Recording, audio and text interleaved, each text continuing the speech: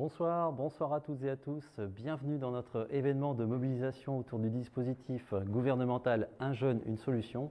Les entreprises de la région Centre Val-de-Loire se mobilisent autour de l'emploi des jeunes. Euh, je, suis Daniel Coutinot, je suis le leader du club Le Loiret Une Chance et je suis ravi de vous accueillir dans cet événement à la fois hybride. On est à la fois en présentiel mais également en distanciel et nous vous espérons nombreux à nous suivre sur les réseaux ce soir en direct. Nous sommes ici ce soir euh, au cœur d'Orléans, euh, dans la capitale régionale, dans les bâtiments historiques qui accueillent aujourd'hui l'ISC Campus Orléans, une école supérieure membre du Club des entreprises inclusives et qui nous accueille ce soir dans le plus strict respect du protocole sanitaire. Cette mobilisation s'inscrit dans le cadre du plan France Relance. Euh, c'est un peu en quelque sorte la dixième étape du tour, de, tour de France de la mobilisation des régions autour du plan Un jeune, une solution et elle s'inscrit aussi plus largement euh, dans le cadre de La France une chance, dont je veux saluer ce soir l'ensemble de mes collègues leaders départementaux et, nationaux. Euh, je voudrais remercier l'ensemble des personnes présentes ici euh, sur ce plateau et aussi l'ensemble des différents témoins qui sont connectés à distance avec nous ce soir. Je tiens également à remercier trois personnalités qui interviendront durant cette mobilisation. Tout d'abord, Madame Agnès Pannier-Runacher, la ministre déléguée en charge de l'industrie auprès du ministre de l'économie, des finances et de la relance. Nous accueillerons ensuite Karine Seller, la haut-commissaire en compétences, et enfin Thibaut Guilhuy, le haut-commissaire à l'engagement des entreprises, qui interviendra pour conclure cette mobilisation. Je voudrais citer trois temps en avant-propos, juillet 2018, avril 2019 et juillet 2020. Donc tout d'abord en juillet 2018, le président de la République Emmanuel Macron lançait aux côtés de Muriel Pénicaud et d'une centaine de grandes entreprises françaises, la mobilisation nationale La France une chance, les entreprises s'engagent. Ça a été le, véritable point de départ euh, d'une mobilisation pour affirmer le rôle majeur que jouent les entreprises dans la cohésion sociale du pays. En avril 2019, Jean-Marie Marx et Florence Poivet, deux personnalités que, je salue ce soir, lançaient aux côtés du, du président de la région Centre, François Bonneau, le club Le Loir-et-Cher Une Chance, l'un des premiers clubs inclusifs pour traduire de façon plus concrète sur les territoires euh, les engagements pris au niveau du national. Euh, ce club a été ensuite rejoint par les clubs de l'Indre-et-Loire, le club du Loiret, de l'Eure-et-Loire, du Cher et de Loindre. Le contexte sanitaire et la crise économique et sociale que nous connaissons tous depuis le printemps 2020 rend encore plus nécessaire cette mobilisation pour l'emploi et notamment l'emploi des jeunes, quel que soit leur, euh, leur lieu de résidence, que l'on soit un habitant des métropoles, en ruralité ou auprès des jeunes euh, résidant auprès des quartiers euh, politiques de la ville. En juillet 2020, Madame Elisabeth Borne, ministre du Travail, lançait le plan Un jeune, une solution, dont les différents axes vont être présentés ce soir à travers différents témoignages régionaux. C'est un plan qui vise vraiment à, lutter contre le chômage des jeunes et à ne laisser aucun angle mort à travers une série de dispositifs, que ce soit sur la formation, l'aide à l'embauche et également à la mobilité. Donc vous, le verrez ce soir, il y a des, jeunes motivés et pour les entreprises qui nous écoutent, différents dispositifs pour vous accompagner et les aider à embaucher. Avant de, visionner ensemble un, mot de bienvenue de la part de François Bonneau, le, président de la région Centre-Val de Loire, je voudrais, euh, en tant que leader du club Le Loire et une chance, et également au nom de mes collègues leaders départementaux, lancer un, appel ce soir. Je lance un appel à, tous les artisans et à toutes les entreprises, quelle que soit leur taille et quel que soit leur secteur, que vous soyez une TPE, une PME, une ETI ou une entreprise d'un grand groupe. Euh, je vous appelle vraiment à rejoindre la dynamique La France une chance et de co-construire ensemble avec euh, le, service, public de l'emploi, donc que ce soit les pôles emploi, les missions locales et les cap emploi, mais également les services de l'État, euh, les directs, les préfectures et également l'éducation nationale, à construire cette communauté inclusive, cette, cette coalition euh, pour que nous puissions tous affirmer ensemble que la région centre est une chance pour l'emploi des jeunes. Merci à vous.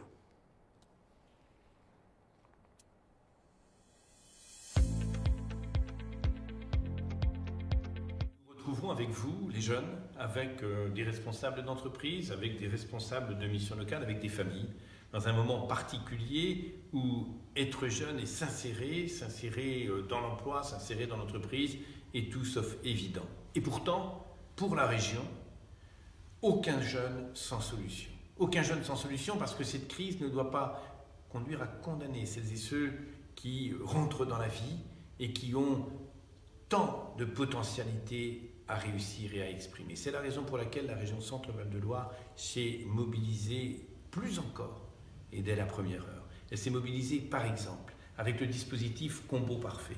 Combo Parfait, c'est quoi? C'est pour un jeune qui sort de formation avec un diplôme, une qualification, mais qui trouve la porte de l'emploi cadenassée, quand bien même il a choisi une voie d'avenir. Pour ce jeune, la possibilité de repartir immédiatement en formation pour avoir une mention complémentaire, pour, euh, s'il se trouvait à être sur un secteur qui n'est pas porteur, une autre orientation. Aucun jeune sans solution, c'est un jeune qui, dans sa formation, va avoir la possibilité de préparer le permis de conduire et euh, le dispositif Combo Parfait va l'aider jusqu'à 1800 euros. C'est un jeune qui euh, a besoin de vivre, qui a besoin de vivre au cœur de cette crise et qui va, pendant sa formation, être bénéficiaire d'un soutien de 500 euros par mois. C'est un jeune que l'on va aider s'il en a besoin à se mettre en projet. Oui, aucun jeune sans solution. Une société solidaire, une société inclusive. Quand le vent est de face, quand le vent est mauvais, quand les tendances sont aussi dures pour le lien social et pour l'insertion des jeunes, tout doit être fait pour la jeunesse. La région s'engage et la région continuera à être durablement à vos côtés. Vous, les entreprises pour l'emploi de ces jeunes et leur insertion, vous, les organismes de formation, vous, les conseillers des missions locales, vous, les jeunes et vous, les familles.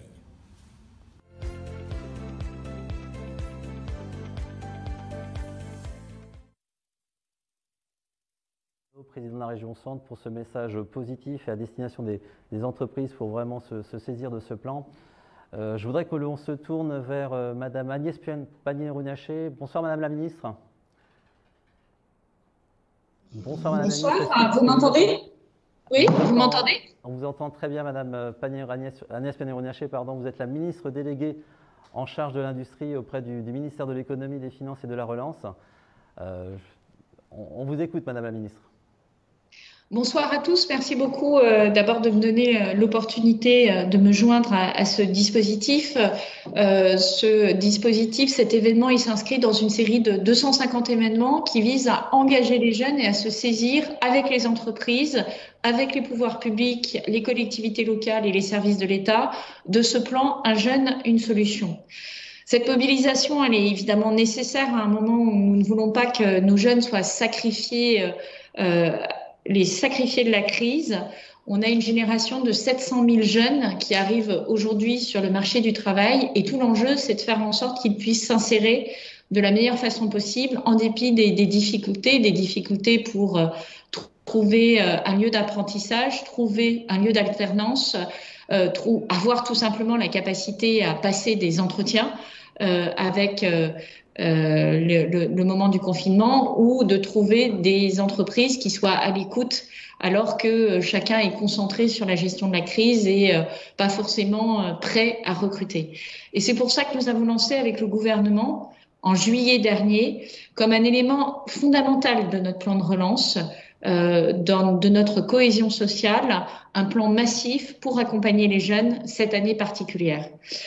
Ce, cet accompagnement massif, il se déploie depuis quelques mois et il tourne autour d'idées au fond assez simples. D'abord, il faut faciliter l'entrée des jeunes sur le marché du travail. Et pour cela, on va aider les entreprises à limiter leurs risques en les accompagnant financièrement. C'est ce que nous faisons pour euh, tout jeune qui accède à un contrat à durée déterminée d'une certaine durée ou à un contrat à durée indéterminée avec une aide financière. De la même manière, nous allons accompagner l'apprentissage et l'alternance avec un soutien de 5 000 euros pour les jeunes de moins de 18 ans et un soutien de 8 000 euros pour les jeunes de plus de 18 ans jusqu'à 26 ans. Nous faisons la même chose pour les handicapés.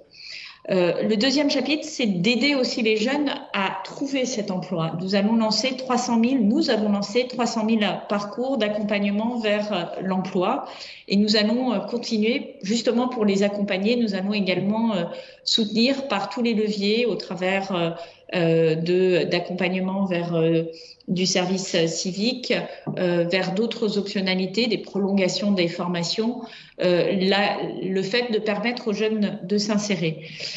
Et ce que je veux dire ici, c'est que cela marche. Cela marche puisque quand on regarde l'année écoulée, on va se trouver dans une situation où on aura probablement euh, permis à plus de jeunes de s'insérer sur le marché du travail que pendant l'année 2019. On est en train aussi, sur l'apprentissage et sur l'alternance, d'avoir des meilleurs chiffres d'insertion en apprentissage et en alternance, ou en tout cas de rencontrer le niveau de 2019, alors même que 2019, nous avions franchi une marche euh, en croissance pour euh, offrir des places aux jeunes en alternance et en apprentissage. Cela veut dire qu'en en fait, on peut y arriver. C'est une question de détermination politique, c'est une, c'est une question de mobilisation des acteurs, et c'est ce message politique euh, et euh, d'espoir que je veux délivrer ce soir.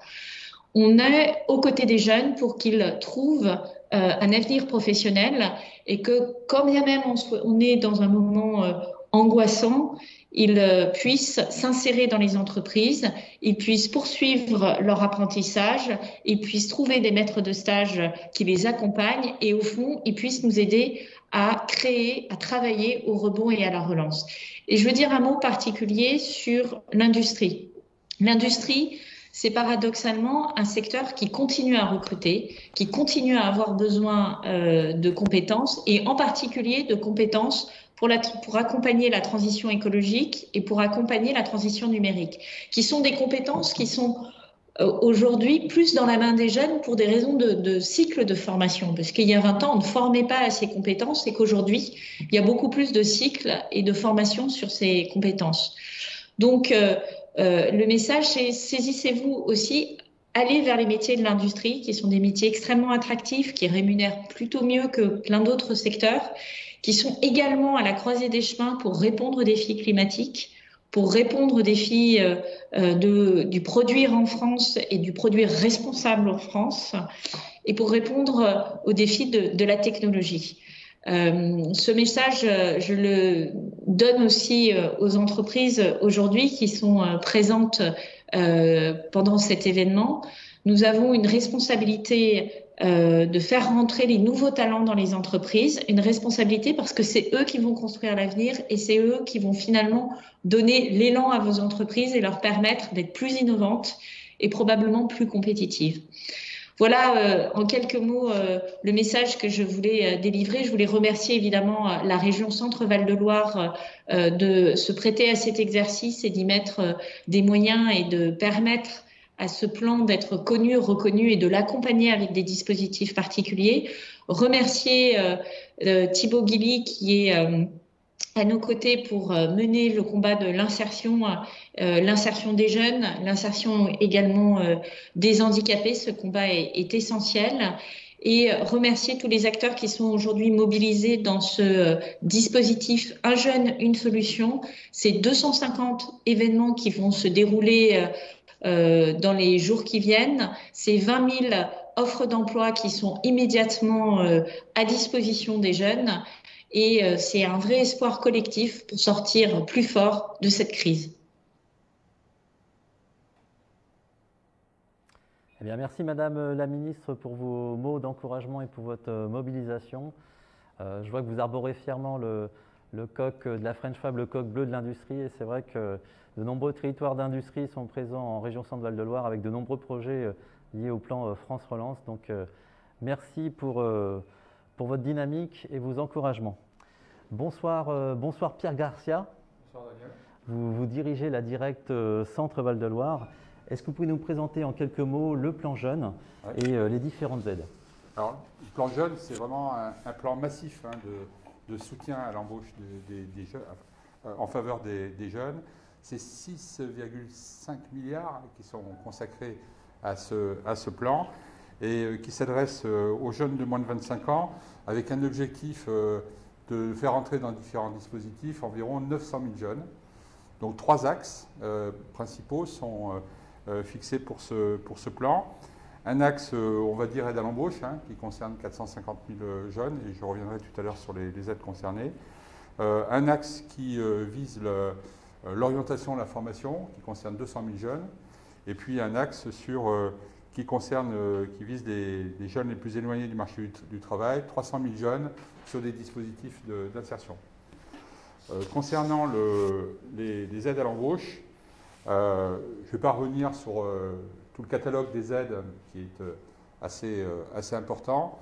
ce catalogue, vous le trouvez sur le site internet. Hein. on, a fait, on a travaillé avec, le, avec les signataires du pacte économique et social régional de Centre-Val de Loire, donc à l'établissement d'un document qui donne une bonne lisibilité de l'ensemble des, aides qui peuvent être consenties.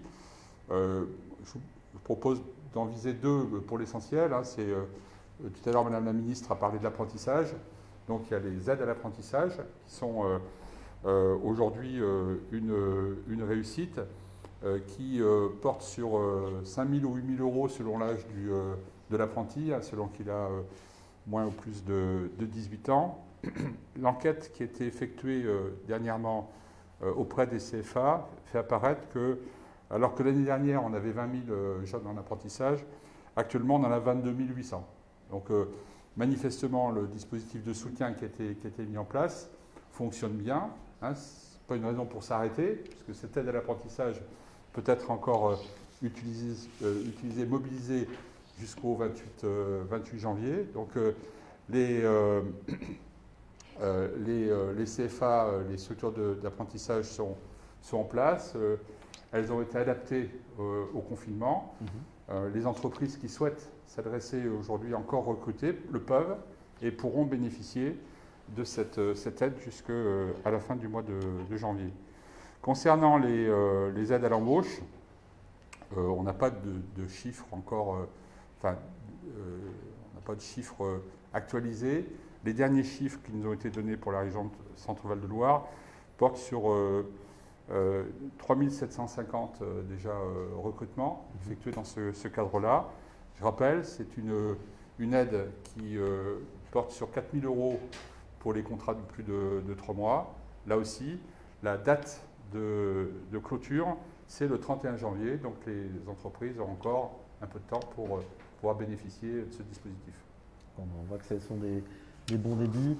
Je vous, propose, euh, je vous propose à tous de, débuter ce tour de la région centre et ce tour des différents témoignages autour des différents dispositifs du plan, jeune je vous propose de débuter donc par le Loiret. Nous allons nous, euh, retrouver donc à, à Boigny-sur-Bionne au, sein de la société Alstef euh, pour un sujet sur l'apprentissage.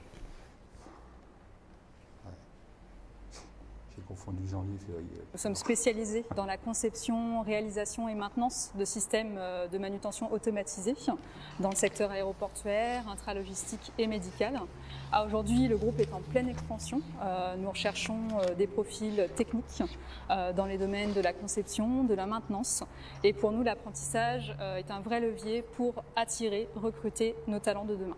Au sein du groupe, nous avons euh, plus de 50 alternants. Euh, aujourd'hui, les débouchés sont divers, effectivement, en fonction de nos apprentis.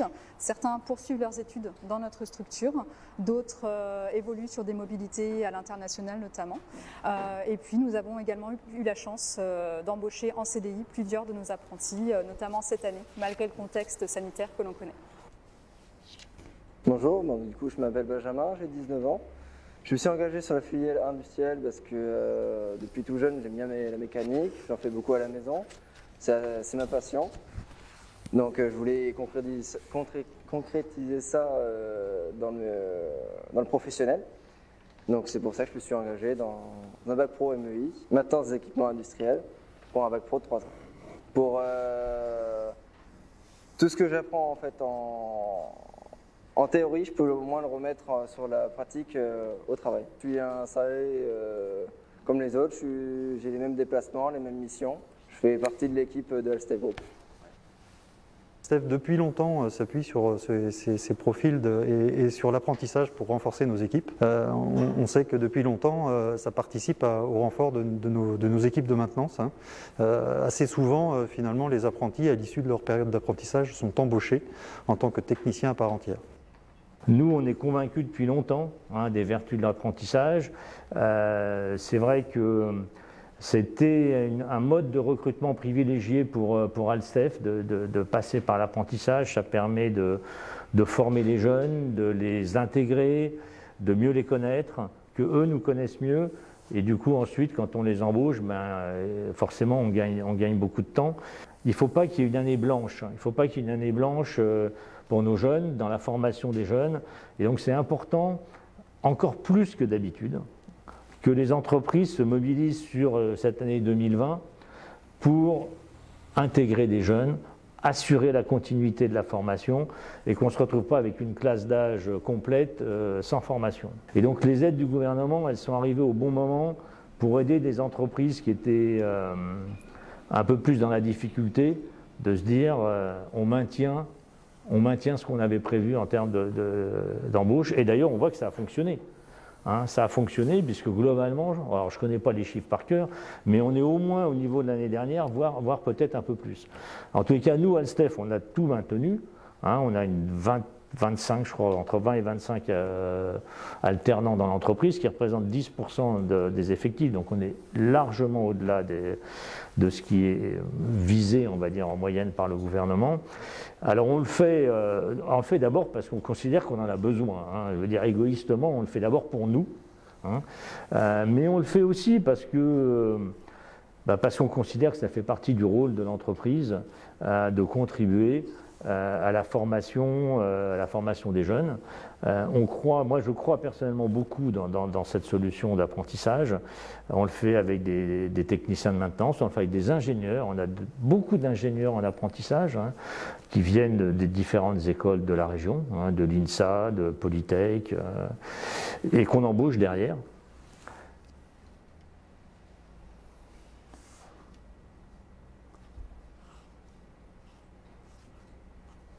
Eh bien, merci pour ce, sujet. Je tiens à remercier euh, l'ensemble du personnel et des équipes d'Alstef, euh, tout particulièrement Aurore Sanson et, Pierre Marolles. Et je tiens à féliciter également euh, Anthony Charloton, l'un des apprentis, qui a réalisé ce, clip auprès de la, cellule communication de la préfecture de la région centre. je, vous indique, si vous avez des questions concernant cette mobilisation sur des différents témoignages sur les dispositifs, n'hésitez pas euh, à utiliser la section chat du, Facebook Live. Nous reviendrons sur vos différentes questions en, fin de, cet événement. Je me retourne donc vers euh, Pierre Garcia, donc vous êtes le, directeur de la, directe Centre Val-de-Loire. Donc on, avait tous la crainte euh, l'été dernier d'une rentrée serait compliquée pour les, jeunes à la rentrée 2020 en ce qui concerne l'apprentissage. Quelle est la situation, la situation à ce jour? Aujourd'hui, la situation reste compliquée pour les, jeunes. Hein. Je pense qu'il est absolument nécessaire de les, accompagner. Tout à l'heure, je pense que Pôle emploi donnera peut-être quelques chiffres sur euh, l'évolution des, jeunes euh, demandeurs d'emploi. Euh, et vous savez que la région centre reste un peu en retard par rapport au niveau national sur le nombre de demandeurs d'emploi de moins de 18 ans, de, de, de, moins de 26 ans inscrits euh, comme demandeur d'emploi.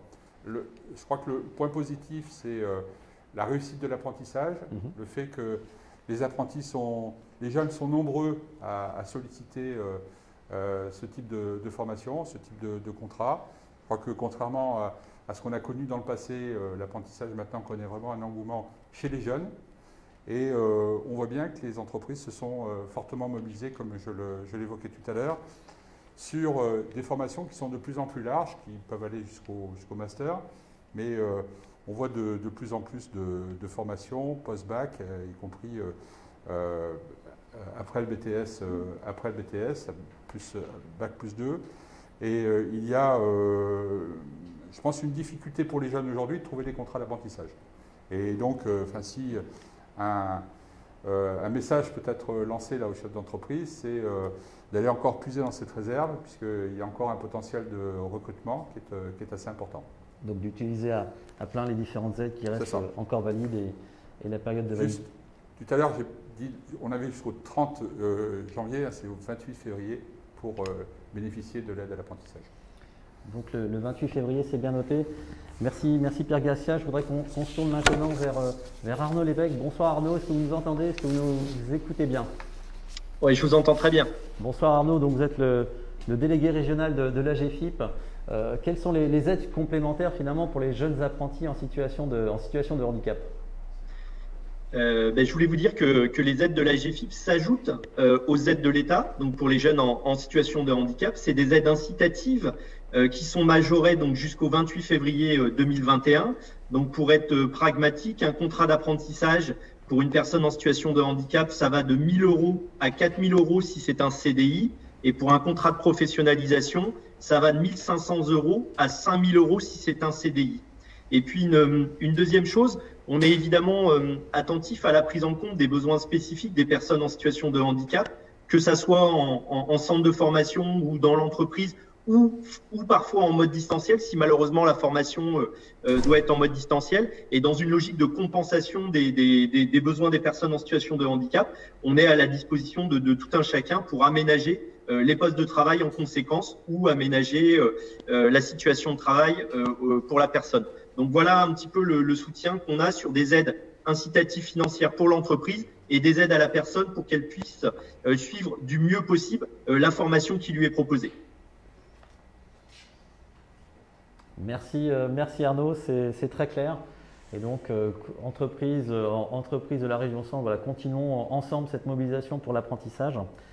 je vous propose maintenant de, bah, transitionner vers un, autre dispositif d'aide, le CIE, le contrat initiative emploi. C'est un, nouveau contrat aidé à destination des entreprises. Il y a quel mérite de proposer à la fois un travail, un développement de compétences et, un, un, accompagnement pardon, je vous propose donc de, cette fois de, voyager dans l'Indre. Euh, et nous accueillons donc euh, Marina Héroux, Laurent et Victor Rimbert. Est-ce que vous m'entendez tous les trois? Est-ce que, vous me, est que vous me recevez? Euh, Alors on vous entend très bien de votre côté. Je ne sais pas si vous nous voyez par contre. non, on ne vous voit pas du tout, mais par contre on vous entend. Très ah. bien. Bonsoir Laurent et Victor Rimbert. J'entends Marina. Très bien, Marina, est-ce que vous m'entendez? Oui, je vous entends, mais je vous vois pas. enfin, je vois Victor et, Laurent Rimbert, par contre. Bon. Bonsoir Marina Héroux, donc vous êtes la, conseillère, l'une des conseillères euh, de la mission locale de, Châteauroux dans l'Indre. Euh, est-ce que vous pouvez nous présenter en quelques mots ce que c'est que le, CIE, le contrat initiative emploi? Alors effectivement, le contrat initiative emploi, hein, il se base sur, des, sur le même type qu'un certain nombre d'anciens contrats qui existaient. Euh, la base étant de, de mener à bien un contrat de travail euh, plutôt classique avec une sécurisation de, l'emploi du jeune en cours d'emploi euh, au travers d'un certain nombre de choses, donc notamment un suivi euh, par la mission locale et une incitation à la formation en cours d'emploi. Alors cette formation étant vraiment liée à ce que, au projet du jeune et au, au travail qu'il aura à faire dans l'entreprise. Euh, en contrepartie de, de, cette sécurisation de l'emploi, il y a aussi une aide financière qui est apportée euh, aux entreprises, euh, donc qui est de 47% du SMIC. Donc c'est un peu un système un peu différent. C'est pas une aide financière directement, c'est basé sur la sur euh, l'investissement financier que fait l'entreprise par rapport aux jeunes. Donc 47% du SMIC à hauteur de, de 30, 30 heures euh, de présence dans l'entreprise.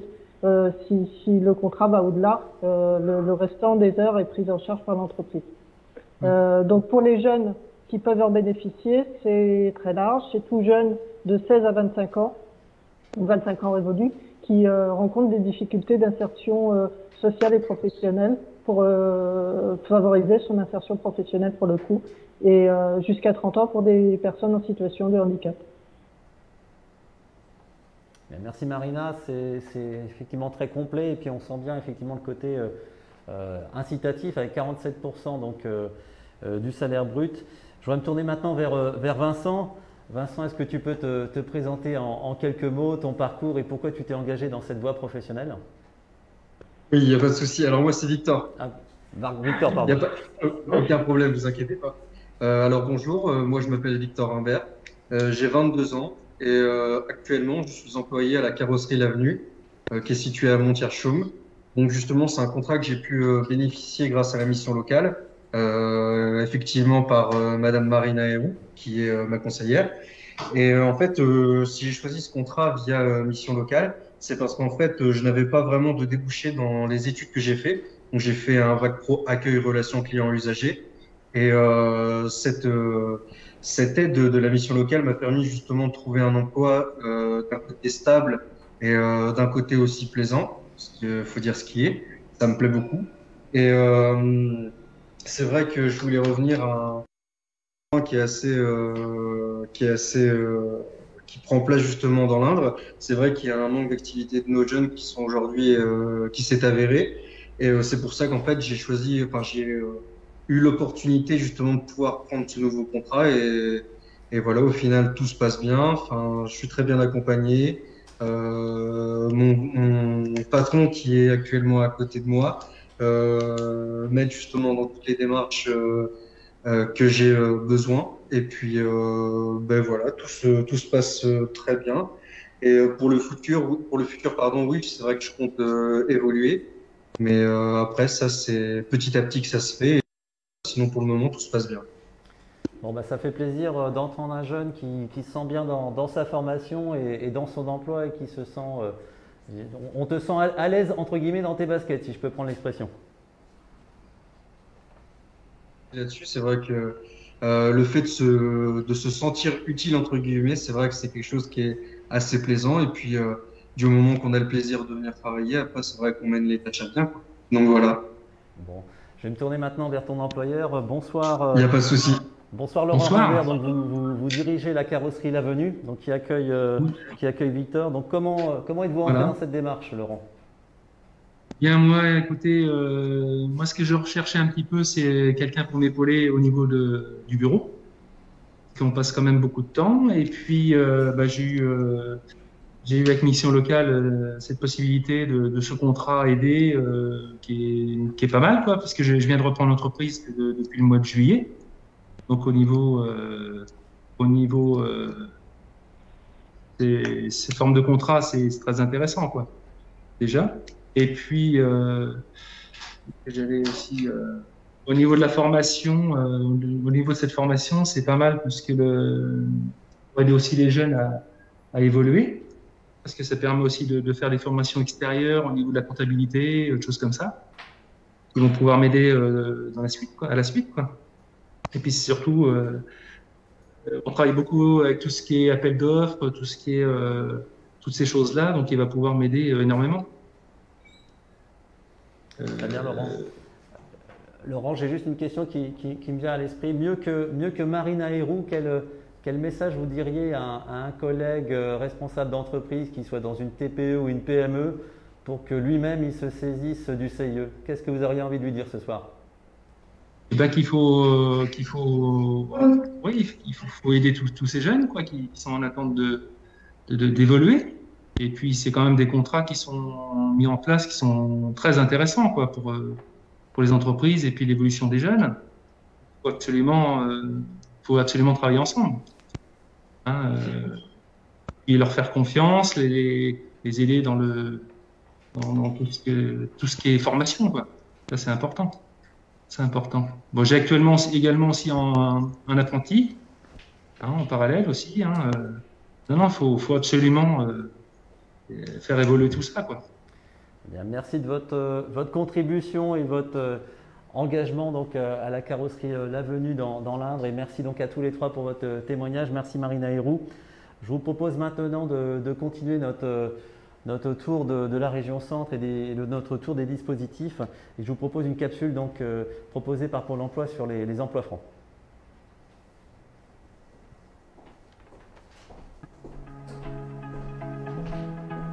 Aujourd'hui, nous avons 750 euh, salariés dans l'entreprise, dont 500 conducteurs, et nous avons euh, beaucoup de besoins puisque euh, nous avons des départs en retraite, mais le métier et le réseau se développent aussi beaucoup. C'est la raison pour laquelle nous cherchons euh, en 2020 et 2021 78 euh, conducteurs de bus et de tramway. Une fois que nous avons sélectionné les candidats, Pôle Emploi nous a expliqué que dans la mesure où ils étaient en dessous de 26 ans, on pouvait bénéficier d'une prime supplémentaire la prime emploi franc plus que l'État avait mise en place. Alors l'aide financière pour l'entreprise, c'est 15 000 euros sur 3 ans si la personne est issue d'un quartier prioritaire de la ville, et jusqu'à 17 000 euros si la personne a moins de 26 ans. Ça permet d'accéder à des profils différents de ce que l'on a pu présenter euh, les fois précédentes. Le, lieu de vie, c'est parfois une image. Ça renvoie à une image qu'on a tous, hein, volontairement ou involontairement. Hein. Mais là, quel que soit euh, le profil, si les compétences sont mises en avant, l'entreprise est prête à, recruter qui est une mesure extrêmement simple, hein, puisqu'il s'agit d'aller sur le site du gouvernement, de télécharger un CERFAR, de le remplir et de l'envoyer. Donc techniquement, c'est ce qui plaît aussi aux entreprises parce qu'il n'y a pas de charge administrative. Et ça, c'est primordial pour une entreprise. Pour Keolis, ça représente une très belle opportunité d'avoir cette, cette, prime. Moi, je trouve que l'initiative de l'État est extrêmement intéressante dans la mesure où il y a un tissu d'entreprises, de plus petites entreprises qui ont peut-être plus de, de difficultés à recruter. Et pour moi, ça constitue une véritable très belle opportunité faut pas hésiter. Il faut pas hésiter. Il faut faire confiance à son conseiller Pôle Emploi aussi, hein, parce qu'il est là pour présenter des profils. Ça, c'est important.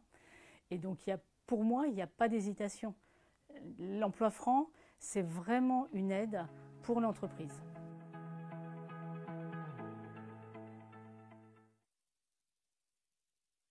Ménager. Bonsoir Daniel. Vous êtes la directrice régionale de Pôle Emploi. Donc euh, au-delà de, ce qu'on a pu voir dans la vidéo, si une entreprise veut embaucher un jeune donc issu des quartiers politiques de la ville, les QPV, ou qui a déjà embauché euh, un de ces jeunes, comment elle peut bénéficier de cette aide? Alors déjà, cette aide, elle est à destination de toute entreprise ou association, sauf euh, les particuliers employeurs et les entreprises publiques. C'est très simple. Il vous suffit soit d'appeler votre conseiller Pôle emploi ou d'appeler l'agence ou alors d'appeler le 3995 et là, la plateforme pourra vous conseiller, vous orienter. Et la mesure, elle est très simple. Il suffit de compléter un CERFA que vous trouvez soit sur euh, le site du gouvernement, soit sur la plateforme Un jeune, une solution. Vous le complétez, très vite Pôle emploi vérifie euh, bien entendu l'éligibilité et vous avez la réponse quelques jours après. Alors attention, cette mesure sur les emplois francs plus, elle est valable jusqu'au 31 janvier 2021. D'accord. Euh, au-delà forcément de l'incitation financière qui est, évidente, euh, j'indiquais tout à l'heure en avant-propos donc euh, l'inclusion et quelque part la cohésion sociale du pays. En quoi finalement l'emploi franc est, une, est, un nouveau dispositif qui peut permettre peut-être de renouveler les pratiques de recrutement au sein des entreprises? Absolument. Alors, dans ce cas euh, de l'emploi franc plus, l'entreprise va recruter un jeune. C'est déjà un atout formidable qui est euh, la mixité intergénérationnelle. Mais là, nous allons travailler vraiment sur les compétences. On va sortir du CV. On va travailler sur les compétences à compétences égales, à profil identique. La mesure vous incite à choisir un jeune issu des quartiers politiques de la ville. Et c'est pour moi euh, la concrétisation euh, de ce qu'une entreprise engagée euh, peut faire. Et je crois, Daniel, qu'autour de vous, dans le cadre de la France une chance, le Loire une chance, vous en avez beaucoup des entreprises comme cela. Absolument, et c'est vrai que l'emploi franc est un des, dispositifs qu'on met en avant. Donc merci, merci à Pôle Emploi déjà, un, pour votre mobilisation sur ce dispositif, pour cette belle capsule qui a été proposé et qu'on continuera de, diffuser. Euh, mais en tout cas, on, comprend bien qu'au-delà de l'aide financière, bah, c'est des nouvelles opportunités qui s'offrent euh, à tous les jeunes donc issus des, quartiers prioritaires euh, politiques de la ville, pardon, les QPV. je vous propose maintenant de, continuer notre, tour de la région centre et d'aller maintenant en, en, Eure-et-Loire. On va accueillir sur le plateau Amanda Miché et nous allons accueillir à distance donc Marc-Henley Poyo et Hyacinthe Mélian nous allons évoquer ensemble le, combo parfait, un nouveau dispositif qui a été lancé par la région début octobre.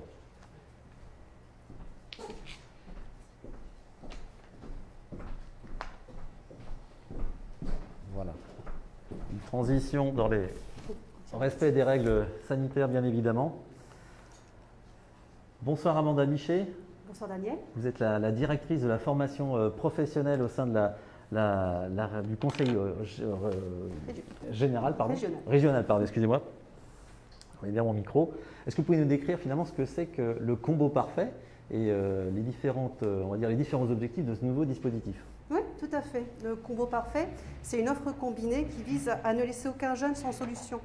Comme l'a dit le président François Bonneau en début d'événement, on est face à une situation du marché de l'emploi qui est très tendue, avec des jeunes qui ont des difficultés à accéder à ces emplois et qui en plus peuvent être confrontés à des difficultés financières et puis également à des difficultés sur la mobilité, mobilité pour se rendre en formation, mobilité pour se rendre sur un premier emploi. Face à ça, euh, la région propose le dispositif Combo Parfait.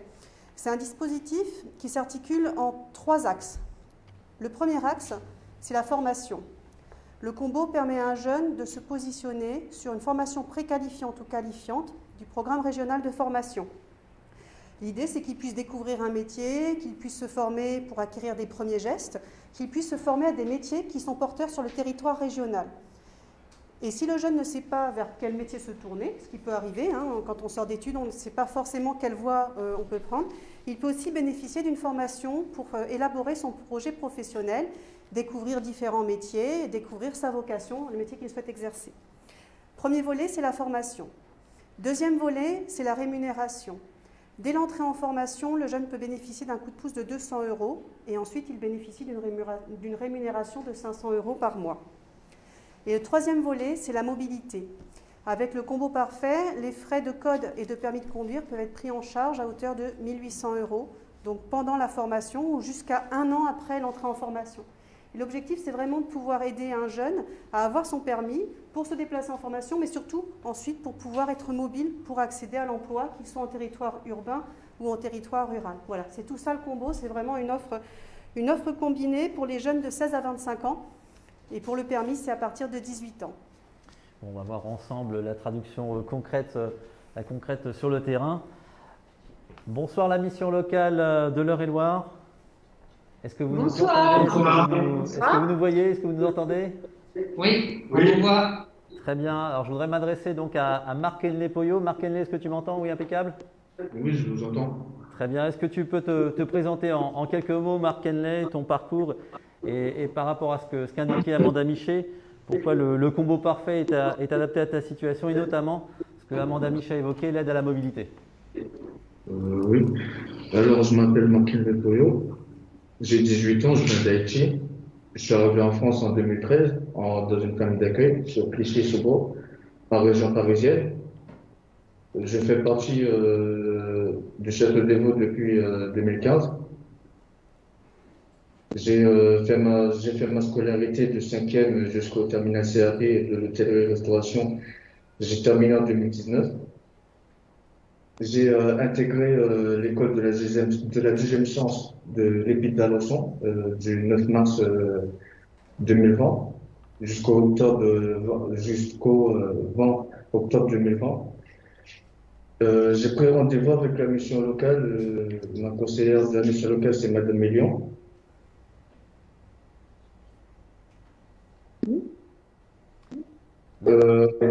Pardon Je t'en prie, continue, Marc. Euh, j'avais, euh, j'ai quelques difficultés euh, à trouver des formations ces derniers temps, donc j'ai pris rendez-vous avec elle assez régulièrement. Elle m'a indiqué la formation CIMA, conducteur d'installation de machines automatisées. J'ai passé le test d'entrée, donc j'ai pu être accepté. Donc j'ai fait mon entrée de formation le 26 10 2020. Et en ce moment, tout se passe très bien, ça me plaît la formation.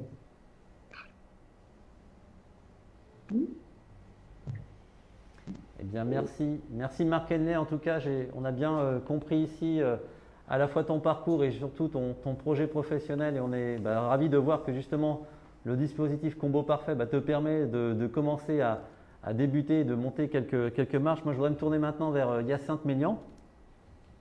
Oui. Vous êtes euh, conseiller donc à, la mission locale de, l'Eure-et-Loire. Euh, comment vous travaillez au quotidien avec, euh, avec les jeunes? Donc bonsoir, nous on accompagne les jeunes de 16 à 25 ans sur deux volets, donc le côté social et le côté professionnel.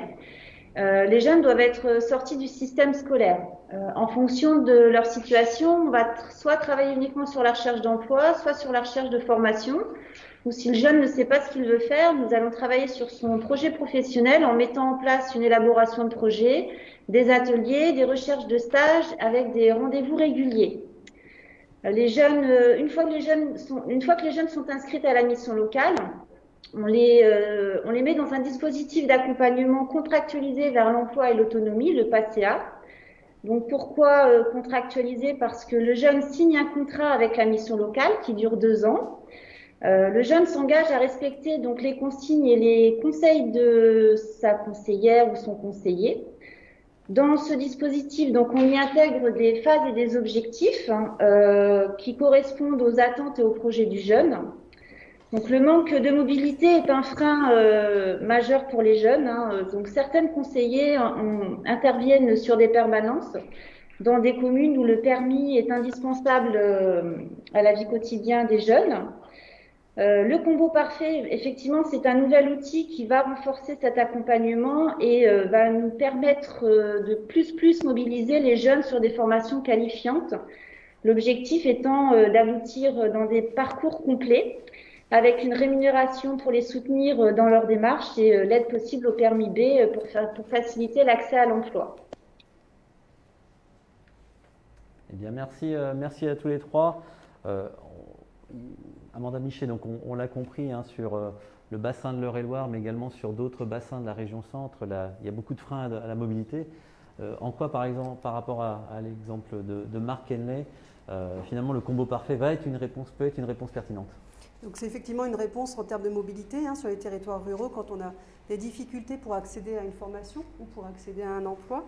Donc si vous voulez trouver les informations euh, relatives au combo parfait, vous pouvez soit vous rendre euh, dans la mission locale la plus proche de chez vous à partir du 1er décembre. Donc euh, elles pourront vous accueillir, les jeunes, pour pouvoir vous former, découvrir les formations et puis les dispositifs liés à l'aide au permis. Et puis, vous pouvez aussi consulter euh, les éléments sur le site internet orientation.centre-valdeloire.fr. Voilà, ça vous permet d'avoir l'ensemble des éléments sur le dispositif du combo parfait. Merci, euh, merci Amanda et merci à, tous dans l'Eure-et-Loire. Je vous propose maintenant de, voyager dans l'Indre-et-Loire à travers un, autre témoignage sur euh, cette fois le service civique. Et je vais accueillir donc en plateau Thibaut Guillet et à distance Chloé Rollin et Anne-Cécile Dupuis.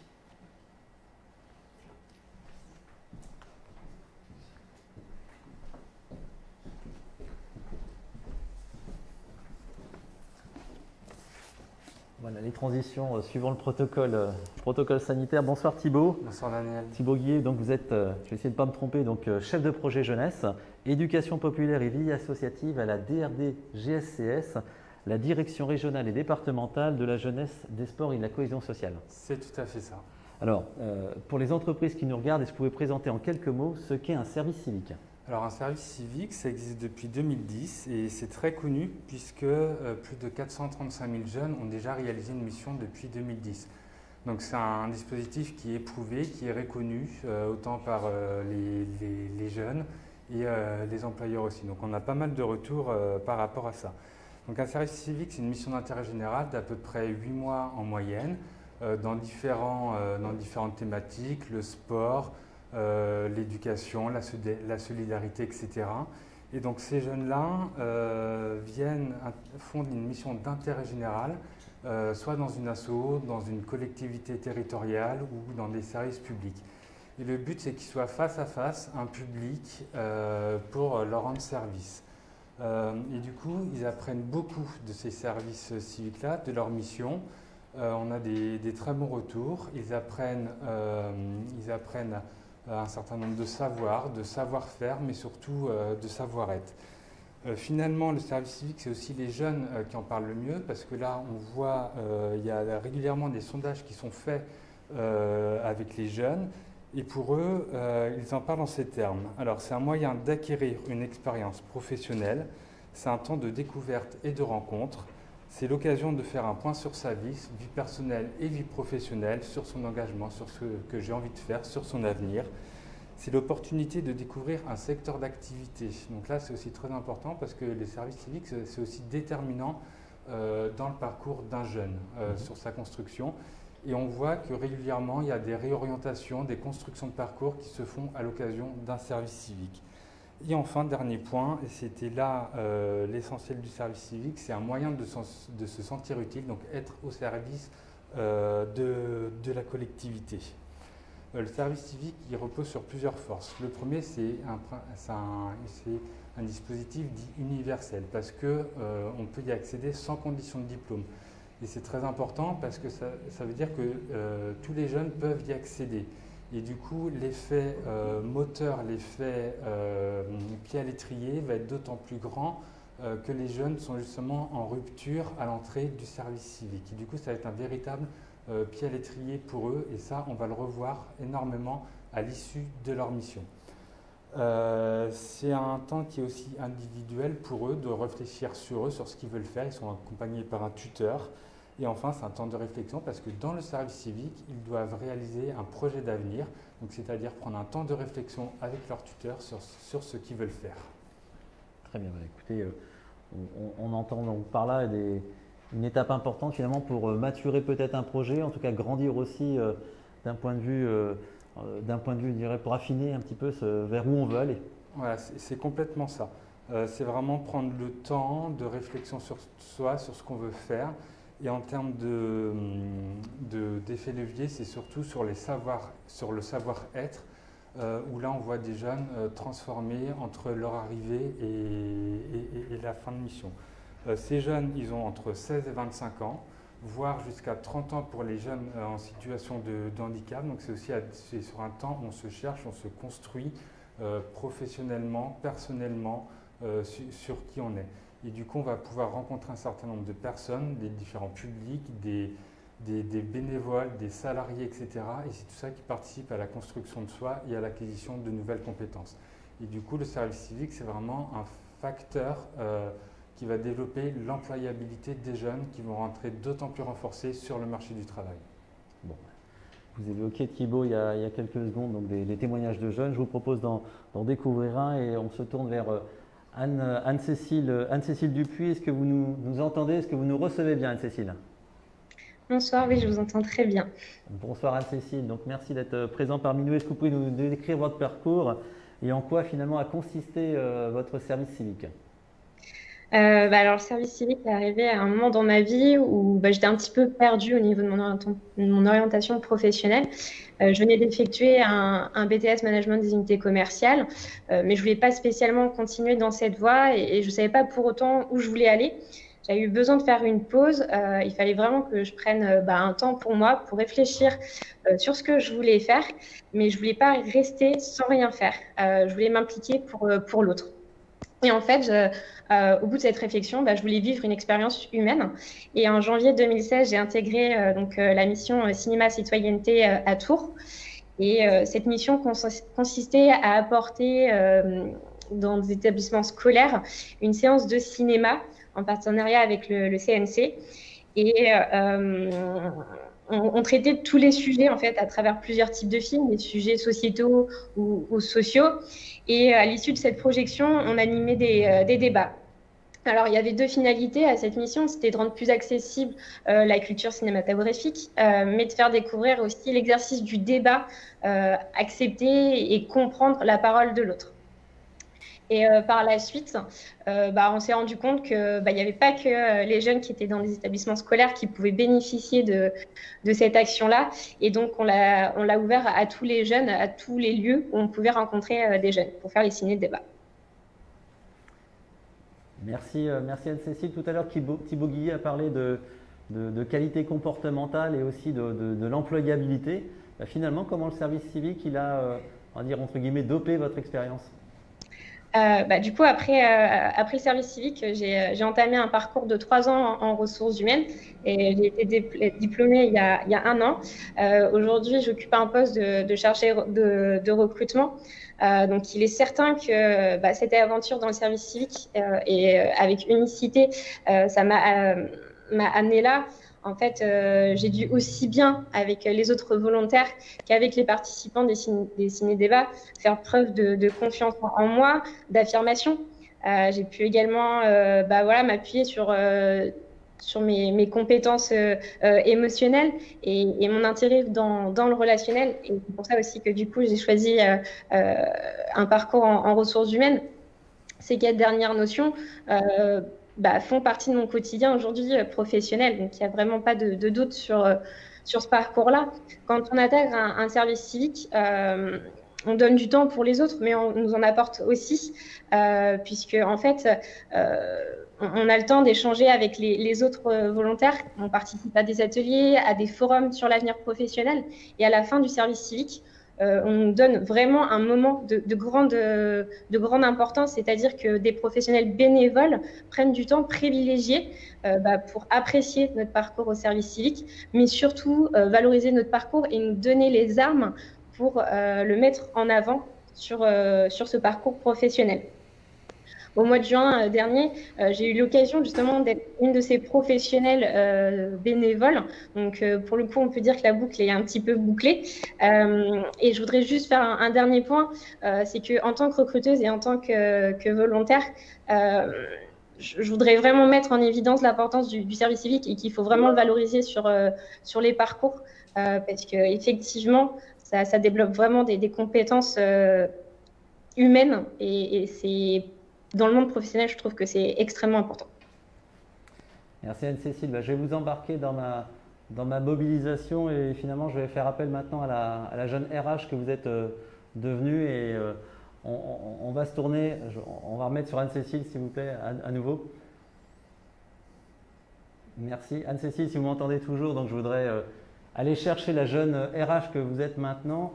Et si, voilà, en quelques secondes, vous aviez un message pour la communauté ressources humaines et à tous les dirigeants d'entreprise qui nous, regardent, donc les dirigeants de, la région Centre-Val de Loire, euh, qu'est-ce que vous leur diriez si demain, voilà, ils ont un jeune qui se présente à eux avec euh, un encart service civique dans leur, leur CV, dans leur bagage?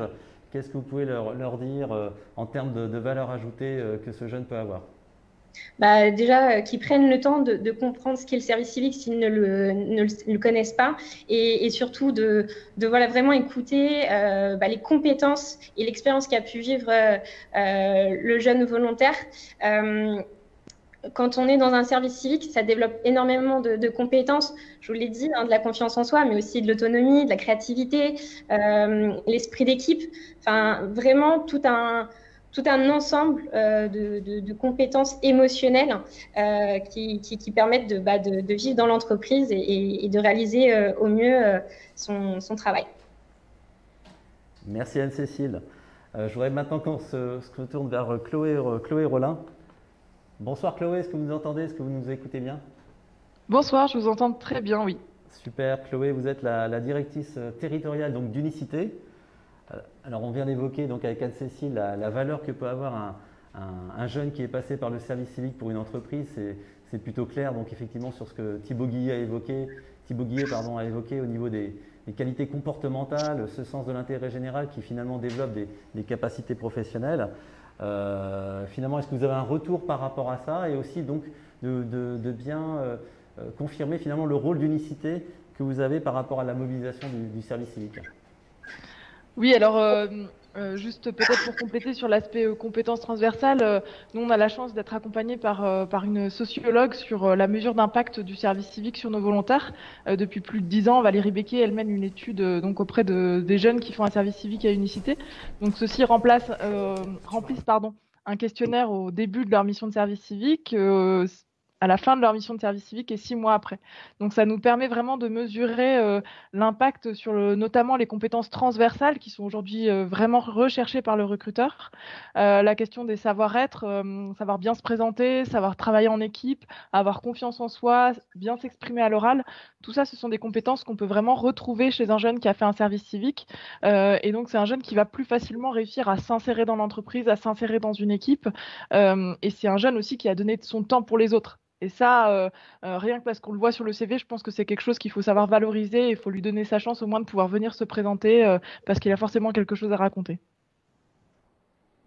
Eh bien, merci Chloé Rollin et merci donc à Unicité et merci à, tous les jeunes qui entrent dans le service civique et donc merci à tous les, responsables d'entreprise donc de, faire preuve de, bienveillance et de bien effectivement bien évaluer ce qui peut se cacher derrière cette, expérience du service civique. Je vous propose maintenant de, transitionner donc dans, le Loir-et-Cher et de retrouver euh, pêle-mêle donc Anne Sourti, Tommy Delporte et Cindy Courty et d'accueillir donc avec moi en plateau Sylvie, euh, Sylvie Fargeau. Nous allons aborder ensemble le sujet euh, de la garantie jeune. Alors Anne, est-ce que vous m'entendez Anne, Anne Sourti Oui, oui, je vous entends bien, pas de souci. Parfait, merci, merci à tous les trois. Donc vous êtes la, Anne, vous êtes la, la conseillère de la mission locale du Vendômois. Alors pour les entreprises qui nous regardent, comment, euh, comment fonctionne la garantie jeune en, quelques mots? Donc la garantie jeune, c'est un dispositif sur 12 mois où on accompagne nos jeunes euh, d'une manière euh, intensive et rythmée pour trouver des solutions en termes d'emploi. Donc ces 12 mois sont découpés toujours de la même façon. Déjà dans un premier temps, un collectif qui permet justement de, que le jeune prenne un rythme, qu'il puisse avoir aussi une cohésion de groupe et surtout, dans ce collectif, on revoit des ateliers leur permettant d'avoir des clés, leur permettant d'aller vers l'entreprise d'être acteurs de leur, euh, de leur situation et surtout de les mettre en situation euh, concrète d'emploi ou de mise en situation euh, en entreprise le plus rapidement possible. Donc la garantie jeune et il y a une aide d'État par rapport à une, allocation, cette allocation donc, de 497 euros quoi, permet donc aux jeunes d'être employable dès le premier mois, parce qu'on s'aperçoit que euh, lors du premier mois, c'est là où c'est le plus compliqué. C'est-à-dire que dès le premier mois, bah, il faut déjà euh, s'organiser en termes de mobilité, en termes de, de logement peut-être, etc. Donc cette allocation est vraiment un bénéfique pour, euh, pour nos jeunes. autrement, sur nos ateliers et sur notre accompagnement, on a deux grands axes. Le premier axe, c'est évidemment l'emploi, qui est notre priorité. Mais le deuxième est aussi euh, tout ce qui est lié à l'autonomie. C'est-à-dire que nos jeunes, quand ils arrivent, ben, euh, c'est aussi des questions de logement, de mobilité, euh, de santé, et tout, toutes les problématiques que, qui gravitent autour. Donc on essaye vraiment d'apporter une réponse individualisée à chaque, questionnement, à chaque, problématique. On a deux outils très efficaces qui marchent bien pour aller vers l'emploi, c'est le stage. Ça, c'est vraiment un outil qui est, euh, qui est le top euh, en termes de je, je me présente, mais aussi je montre à l'entreprise ce que je suis capable de faire. Donc ça, c'est vraiment un outil très intéressant.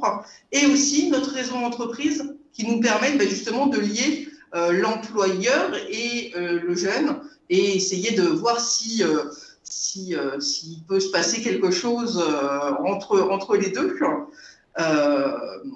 ce stage aussi permet d'une part de développer et de valoriser les compétences du jeune. On parlait tout à l'heure, j'ai cru entendre parler de compétences transférables, donc de savoir-être, donc vraiment de travailler ces points-là, de se faire connaître aussi, aussi professionnellement, d'élargir aussi et de saisir les opportunités. Et ça, c'est vraiment quelque chose où on, met l'accent dessus. C'est-à-dire que la garantie jeune, il faut se tester, il faut aller voir, il faut saisir les opportunités. Euh, on a un an pour se tester. C'est comme ça qu'on en parle aux jeunes. Euh, autrement, on a une équipe dédiée garantie jeune, c'est-à-dire qu'on suit, nous, conseillères, euh, à peu près 50 jeunes euh, qui permet une écoute active, mais aussi une, écoute réactive. C'est-à-dire que le jeune, on peut le voir toutes les semaines, deux fois par semaine si, si besoin, d'essayer vraiment de construire quelque chose avec, avec lui et trouver des solutions par rapport, comme je vous disais tout à l'heure, par rapport à ses besoins. Évidemment, centré sur l'emploi aussi. Hein. évidemment, notre, accompagnement est centré sur l'emploi, mais hélas, l'emploi, des fois, il y a des périphéries à, retravailler aussi. Euh, pour le mot peut-être de la fin sur, la garantie jeune, je dirais que la garantie jeune, c'est euh, cheminer vers l'emploi, développer la confiance en soi et devenir. Plus autonome. Voilà.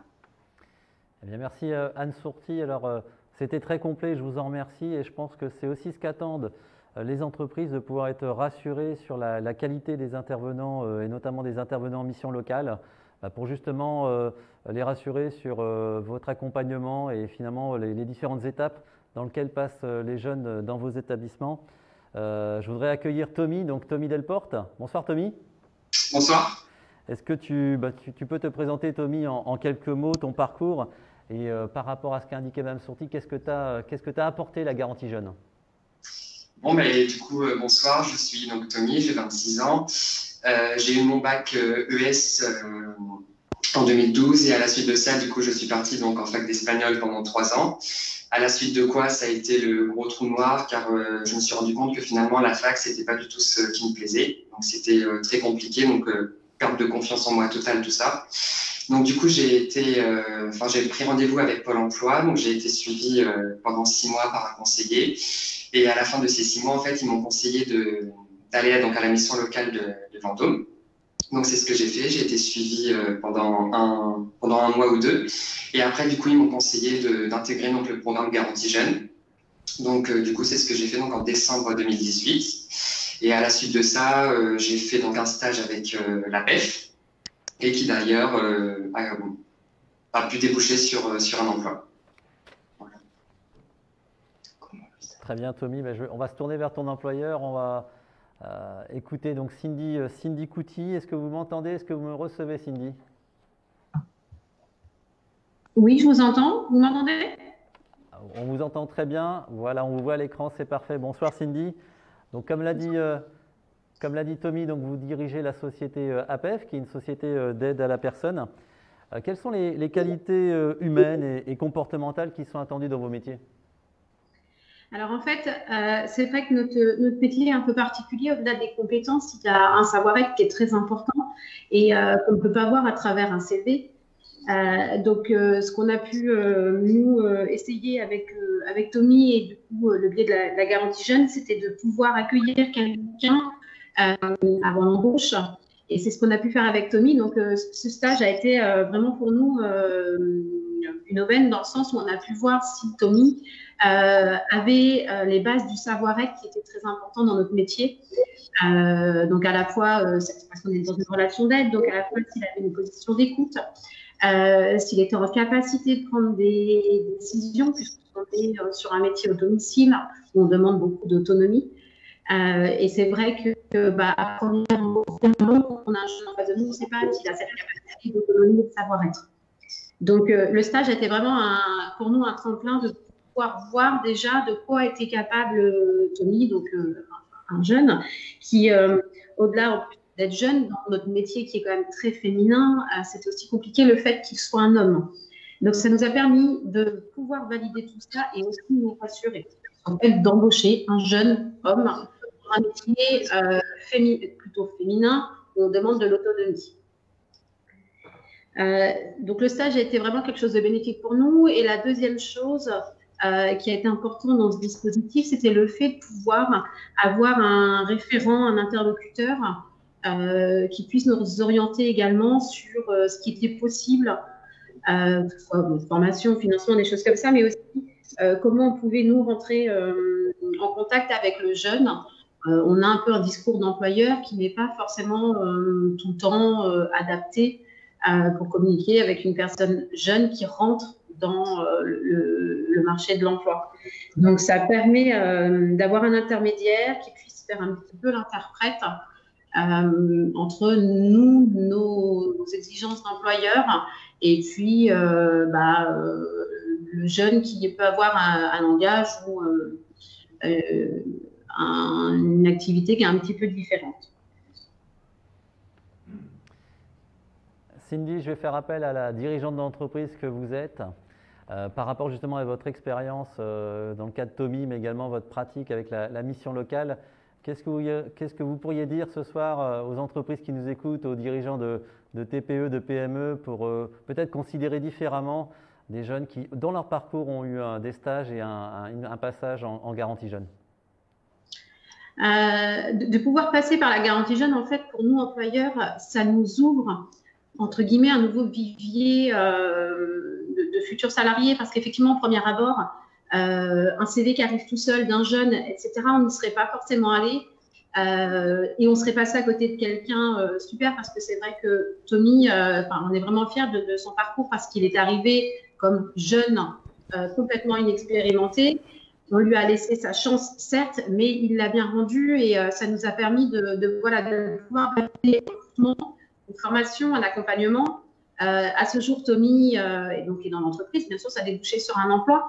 Euh, mais maintenant, il est même tuteur pour des personnes qui rentrent en stage dans l'entreprise ou qui rentrent comme nouveaux salariés. Euh, et c'est vrai que si on n'aurait pas donné cette chance et si on ne serait pas passé par ce dispositif, et eh ben on serait passé à côté d'un super recrutement et d'une super personne. Bon, bah merci à, à, tous les quatre pour cette euh, super histoire. Je voudrais me tourner maintenant en plateau vers, euh, vers Sylvie Fargeau. Bonsoir Sylvie. Vous êtes la, directrice de l'association régionale donc, des missions locales. Alors on l'a vu ce soir, on a parlé apprentissage, on a parlé pôle emploi, mais aussi on a beaucoup parlé des, des missions locales. Moi j'ai le sentiment que c'est le moment ou jamais pour un jeune de pousser les portes de vos établissements. Alors c'est toujours le moment de pousser la porte des missions locales pour les jeunes. Euh, effectivement, euh, les jeunes, quand ils ont et quand ils ressentent et quand ils ont besoin d'être accompagnés aussi bien dans leur insertion professionnelle que dans leur insertion sociale, ils ne doivent pas hésiter à franchir la porte de leur mission locale. Il y en a 20 en région centre et elles ne doivent jamais hésiter. Il y a aussi des points d'accueil, il y en a 365 en région centre. Ils trouveront toujours près de chez eux une mission locale, un conseiller pour les accompagner. Les conseillers sont prêts et à l'écoute en permanence de leurs besoins, aussi bien pour leur orientation professionnelle, pour la définir avec eux, pour leur trouver des formations qui correspondent à leurs besoins, les aider à trouver un emploi, mais également de les aider au niveau social, sur le logement, l'emploi, la santé, enfin tout problématique qui pourrait être réglée pour les aider à devenir autonomes et à accéder à, au projet professionnel qu'ils souhaitent. Aujourd'hui, c'est vrai, euh, la boîte à outils est d'autant plus importante à la main des conseillers. Euh, les dernières annonces ont également permis, la semaine dernière, de développer euh, les possibilités. C'est-à-dire qu'on a là, sur l'année 2021, il va y avoir 200 000 possibilités d'entrée en garantie jeune, qui était l'année dernière à 100 000. Aujourd'hui, c'est 200 000 possibilités, c'est énorme. C'est aussi le, le déplafonnement de l'allocation PASSEA qui se développe, donc permettre d'aider plus de jeunes financièrement et également de coordonner nos dispositifs entre les différents euh, euh, partenaires, entre les différents services publics de l'emploi. Parfait. Bah, écoutez, euh, je sais que Anne Surti tout à l'heure avait fait un, exposé assez complet de, des missions de la mission locale. Est-ce que vous avez un message ce soir adressé aux, entreprises, aux, TPE, aux, PME et aux ETI, aux grandes entreprises qui nous regardent sur le parcours que peut avoir des jeunes en mission locale? Il y a plein de richesses euh, qu'on ne voit pas toujours chez les jeunes. Et en fait, c'est la possibilité de découvrir des compétences, de découvrir des personnalités et de ne pas hésiter à appeler la mission locale près de chez soi pour trouver le jeune, la personne euh, qui sera euh, un bienfait pour l'entreprise. Merci Madame Fargeau et merci, à, vos équipes qui, œuvrent au quotidien pour la, mise en œuvre de, ces actions et ces différents dispositions. Je vous propose maintenant donc de nous intéresser à l'AIJ, l'accompagnement intensif des jeunes. Et nous allons recevoir euh, à nouveau euh, Pôle emploi et je vous propose de découvrir ce nouveau sujet vidéo.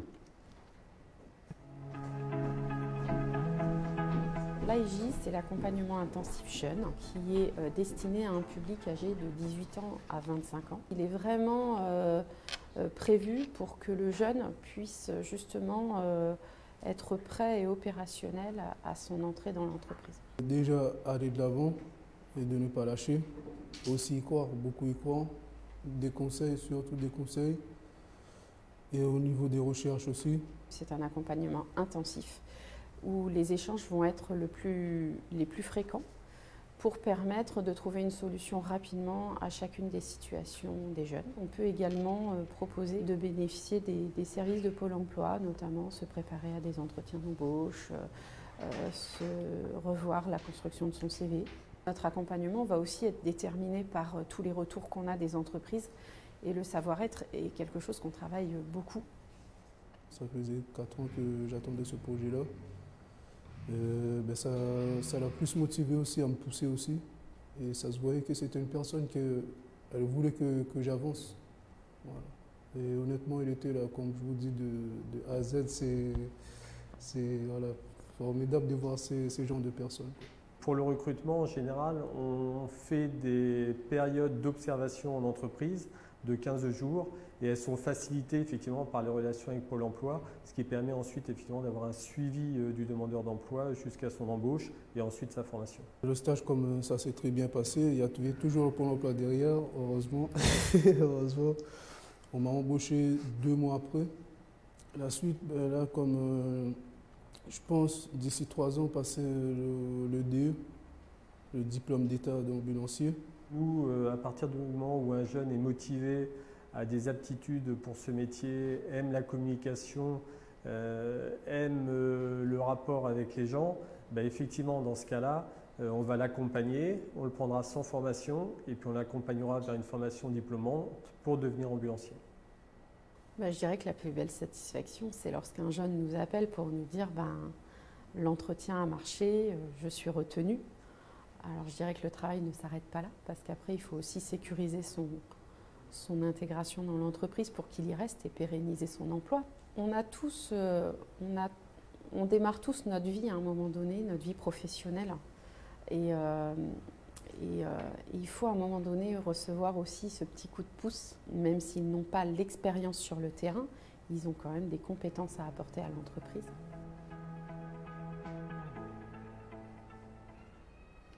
Eh merci aux équipes de, Pôle emploi pour ce sujet et ce, témoignage. Je vais me retourner à nouveau en plateau euh, auprès de Virginie Coppens-Ménager. Donc, je le rappelle, vous êtes la, directrice régionale de, Pôle emploi.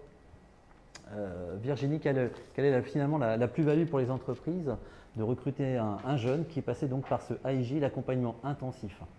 Alors, l'entreprise, elle va recruter un jeune qui aura travaillé sur ses compétences. Bien entendu, sur ses compétences techniques, mais aussi sur ses compétences comportementales euh, qu'on appelle encore soft skills. Vous êtes 6 employeurs sur 10 à nous dire vouloir recruter prioritairement sur ces compétences euh, comportementales. Bien entendu, l'accompagnement intensif des jeunes va aussi travailler sur la motivation des jeunes, sur leur confiance en soi.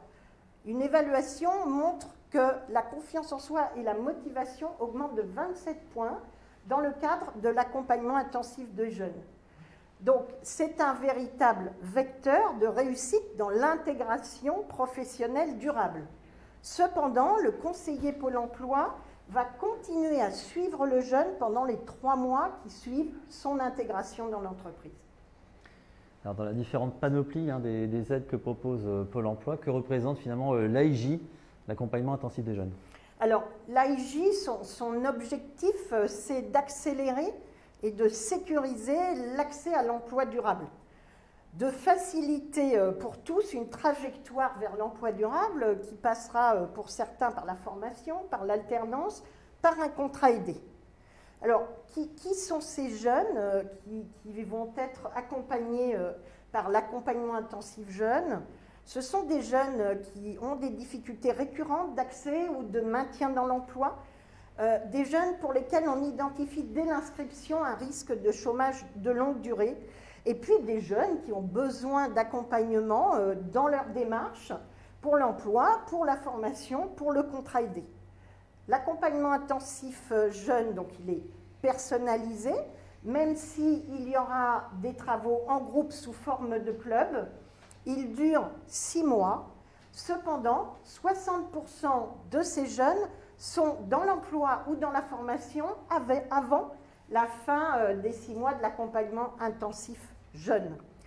Enfin, euh, Centre Val-de-Loire, ce sont aujourd'hui 4000 jeunes qui sont suivis dans le cadre de l'accompagnement intensif jeunes. c'est des, chiffres assez impressionnants. Écoutez, merci, euh, merci Pôle emploi, merci Virginie Coppens-Ménager. Un grand merci à l'ensemble de, vos équipes, de vos différentes antennes et de l'ensemble de vos conseillers d'être mobilisés sur, sur ces dispositifs. qui, dit, qui dit Pôle emploi dit également je dirais, euh, nouvelles annonces disponibles dans une nouvelle plateforme, la plateforme un jeune, une solution.gouv.fr. Et je vous propose d'en découvrir euh, un sujet en vidéo.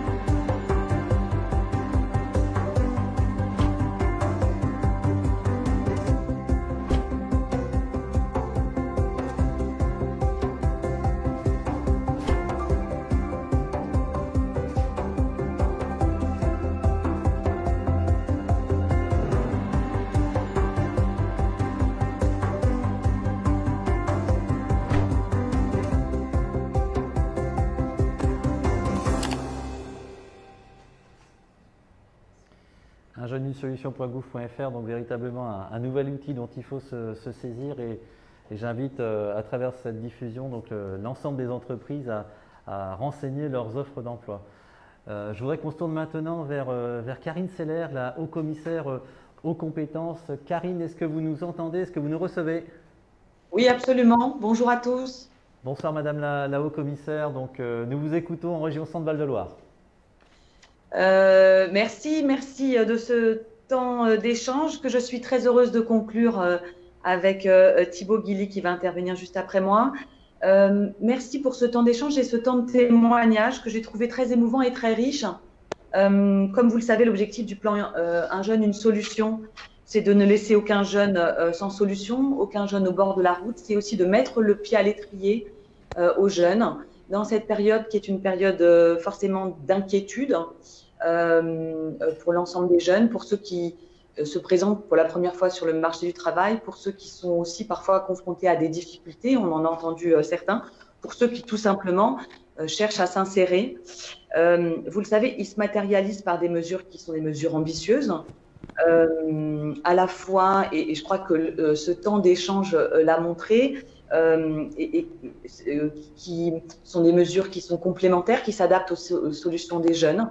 Euh, parce que finalement, il n'y a pas euh, un seul type de jeune ou de, de, problématique. Il faut euh, vraiment avoir des solutions diversifiées pour des besoins qui sont des besoins spécifiques. Donc, c'est à la fois des aides à l'embauche, c'est des aides aussi pour réaliser son contrat d'apprentissage, ce sont des accompagnements, c'est bien sûr des formations. C'est des missions de service civique, c'est la notion de volontariat qui, je trouve, a été présentée avec beaucoup de, euh, de, volontarisme justement et, d'émotion pendant, euh, pendant ce temps-là. Euh, nous, on croit beaucoup à ce temps de lancement qui est un temps collectif dans lequel les entreprises qui souhaitent s'engager peuvent matérialiser de façon plus concrète, au-delà d'un dossier de presse qui est finalement très impersonnel et, où on égrène une série de mesures, euh, de matérialiser concrètement euh, ce que ça veut dire que de miser dans l'avenir, que de miser dans l'embauche d'un jeune, que de miser euh, dans la possibilité de donner sa chance dans un contrat d'apprentissage, que de donner sa chance à un jeune qui vient de finir une formation pour l'embaucher. Et, je crois que ce, ce, temps où on fait place à des témoignages est assez essentiel. vous savez, je suis en charge du plan d'investissement dans les compétences. Euh, qui euh, doit, enfin, qui a pour ambition de euh, permettre l'accès à, à, la formation à des jeunes en difficulté, ou d'ailleurs qualifiés ou non qualifiés. Donc, je crois beaucoup à, l'enjeu de la formation, à cette, et, en particulier dans cette période de crise où l'un des objectifs, c'est de redonner des perspectives, c'est de se tourner vers l'avenir. On sait que par définition, un temps de crise, c'est un temps qui est plus improductif, ou en tout cas dans lequel on a des risques de chômage qui sont importants. C'est justement dans ces temps de crise qu'il faut se tourner vers l'avenir. Le plan Jeune Une Solution permet de financer 100 000 formations euh, supplémentaires hein, qui sont euh, euh, tournées vers les métiers d'avenir, vers des métiers en tension. Je crois que vous, il y a eu plusieurs témoignages d'entreprises qui donnent une illustration concrète euh, à, cet enjeu de la formation.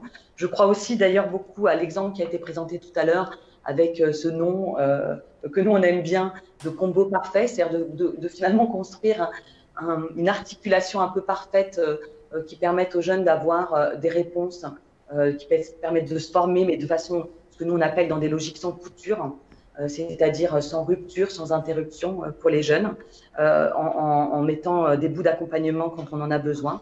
Et euh, ce combo parfait est financé à la fois par l'État et par la région dans une mobilisation qui me paraît euh, tout à fait essentielle. Donc voilà, c'est ce que je voulais vous dire. Nous, on croit à ces temps d'échange, on croit à la mobilisation des entreprises, on croit aussi euh, qu'il est très important pour les jeunes d'entendre ces témoignages.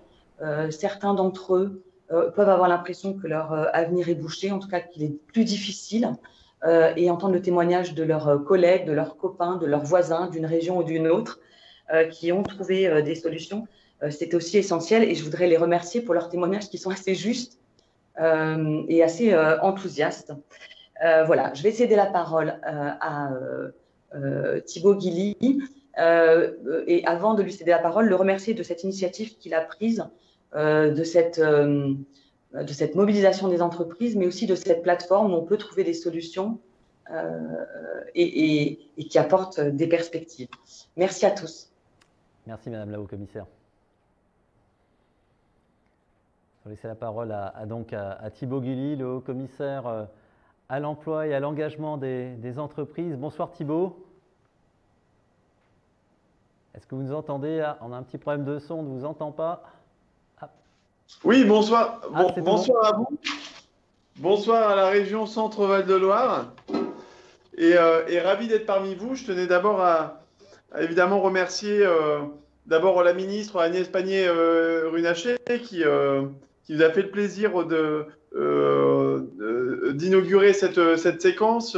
remercier euh, remercier le président de, de, de, la région. J'y reviendrai, mais évidemment, la région est, un partenaire absolument clé et déterminant de, euh, de la réussite d'un plan comme un jeune, une solution. évidemment, le, le, préfet et puis l'ensemble des acteurs locaux. Et puis, et, puis, et puis, je remercie vraiment tout particulièrement parce que je sais qu'elle est sur, sur, sur tous les ponts, j'ai envie de dire en ce moment, Karine Cellier, la, la, la haut-commissaire aux compétences. Euh, qui est en train de déployer en fait euh, euh, pas loin de 200 000 formations supplémentaires sur le plus grand programme qu'on ait jamais vu en matière de formation professionnelle pour ceux qui en ont le, plus besoin. Donc, qu'elle ait pu assister finalement à, ces, à ces témoignages et puis, et puis, et puis qu'elle soit à nos côtés, j'ai envie de dire à vos côtés, pour pouvoir développer une offre extrêmement précieuse sur les territoires c'était euh, clé et je tenais à la euh, remercier pour cela. Alors, euh, on a déjà entendu, j'ai envie de dire, le plus important et l'essentiel ce soir, c'est-à-dire les témoignages concrets, incarnés de tous les dispositifs qu'on va retrouver dans Un jeune, une solution. Et évidemment, merci à tous pour avoir réalisé ça. comme il a été dit aujourd'hui, cette crise est, toujours porteuse d'un risque immense. Euh, chaque crise est toujours porteuse d'un risque immense, c'est celle de la jeunesse, qui est souvent celle qui paye le plus lourd tribut à la crise. Un jeune, une solution, c'est d'abord l'expression de ce refus, en fait, de ce risque-là, pour en faire une opportunité, pour se dire au contraire comment on va faire de la jeunesse et comment on va permettre à la jeunesse d'être une des clés justement de la relance et du rebond, euh, euh, du, rebond du pays. La ministre l'a rappelé, cette jeunesse-là, c'est celle qui va nous permettre et qui va accompagner le redéploiement de la compétitivité de nos entreprises et puis surtout aussi insuffler, c'est la volonté du plan de relance, cet objectif de transition écologique, de cohésion sociale qui est extrêmement, euh, euh, extrêmement important. Euh, transformer ce risque en opportunité, c'est aussi la conscience forte partagée avec la ministre Elisabeth Borne qu'un jeune, une solution n'est pas un plan gouvernemental c'est d'abord, et ça doit être un plan de mobilisation nationale. Et vous l'avez incarné, tous les acteurs de l'emploi, les acteurs économiques, les entreprises, les associations, les collectivités, la région évidemment, c'est que c'est en fait en faisant équipe euh, de Centre-Val de Loire, j'ai envie de dire, euh, que nous pouvons apporter des solutions, bâtir des solutions qui soient adaptées à la réalité de chaque jeune en fonction de ses compétences, de ses appétences, de peut-être ses difficultés, mais aussi tout son potentiel. Et c'est cette diversité-là qu'il faut assumer.